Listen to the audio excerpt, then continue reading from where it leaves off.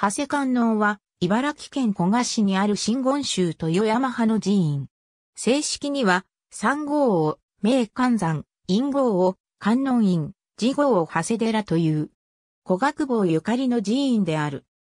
戦国時代の明王2年、初代古学坊の足利重氏が、古賀城の鬼門よけとして、鎌倉の長谷寺から十一面観世音菩薩立像を勘定し、同社を建立したことが起源である。江戸時代には、歴代古賀城主の祈願書ともなった。文政13年頃に書かれた古賀史には、大和及び鎌倉にある長谷観音と並び、三長谷と呼ばれていると紹介されている。明治初年に廃寺となり、八景に四面の本堂も破壊されたが、大正3年、有志の寄付により元の地に再興された。なお、その間は十一面観音は、市内横山町の特政寺に移されていた。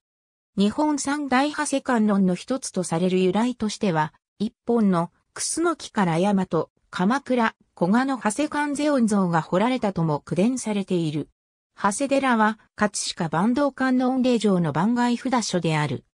護衛家はいつの世も三国の主情を救わんと誓いも、片木長谷観音葛飾坂東観音霊場では、各寺院に護衛家があり、参拝時に護衛家を唱えることは、教文読章と同じ功読があるとされる。